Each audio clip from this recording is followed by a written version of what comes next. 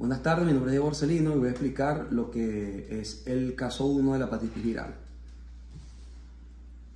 Comenzamos con el caso clínico. Este es un paciente masculino de 25 años de edad quien consulta por presentar desde hace una semana de evolución eh, dolor en hipocondrio derecho, en epigastrio, presenta un tinte ictérico de piel y escleras y eh, también tiene fiebre. Al principio, este paciente solamente presenta malestar general y algo de náusea. Eh, teniendo este caso clínico, vamos a presentar los siguientes diagnósticos sindromáticos. Eh, como primer diagnóstico tenemos el síndrome doloroso abdominal, ya que tiene eh, este paciente presenta dolor abdominal de hace 7 días también. El síndrome ictérico agudo, ya que ah, durante 7 días ha empezado a presentar este tinte ictérico que se ha ido grabando con, con el pasar de los días, y un síndrome febril agudo.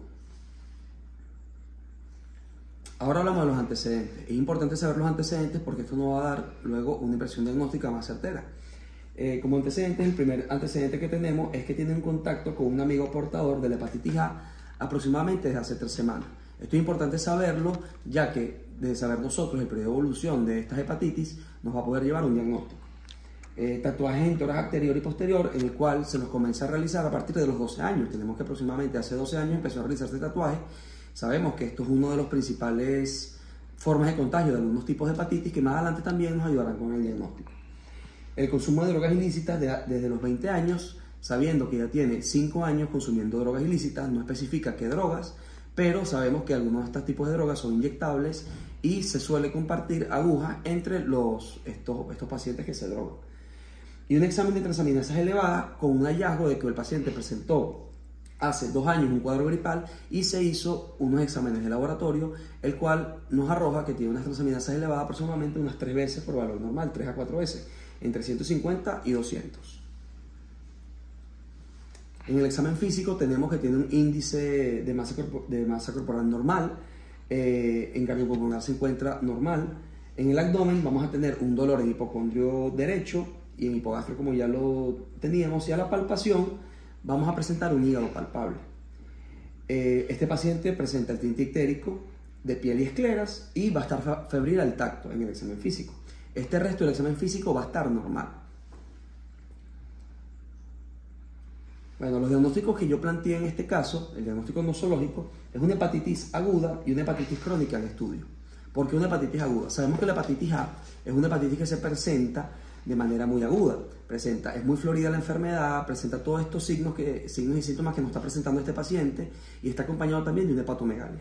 Entonces podemos decir que este paciente, hay por el periodo de incubación de los antecedentes en el cual él vio a su amigo, que fue hace aproximadamente unos 21 días, sabiendo que el periodo de incubación va entre 15 a 40, a 40, 45 días y tiene un promedio entre 25 a 28 días el periodo de incubación de, esta, de esta hepatitis. Entonces, nos da la certeza de que este paciente pueda tener una hepatitis A. Eh, con referente a su otro antecedente, que es los tatuajes, el consumo de drogas y también haber presentado unas transaminasas altas de hace dos años, nos puede arrojar también que puede este paciente presentar una hepatitis crónica y tendría que hacerse el estudio, porque tendría que hacer los exámenes pertinentes para saber si este paciente está presentando una hepatitis C desde hace, varios tiempo, desde hace algún tiempo, ya que esta hepatitis C suele ser asintomática y suele eh, diagnosticarse en, en, otros estudios o cuando el paciente presenta otro tipo de enfermedad y se hace estudios.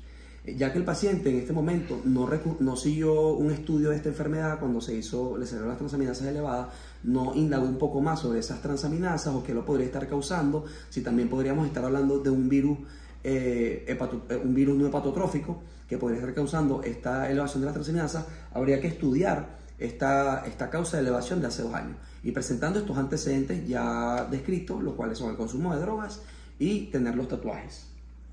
Como diagnóstico etológico le coloco el virus de la hepatitis A, que ya sabemos por, lo, por el tiempo de incubación, por, por presentarse de forma aguda, por tener el tinte ictérico en piel y escleras de manera exacerbada, y el probable virus de la hepatitis C, que con unos análisis y unos exámenes pertinentes podremos eh, confirmar o descartar en dicho caso. Muchas gracias.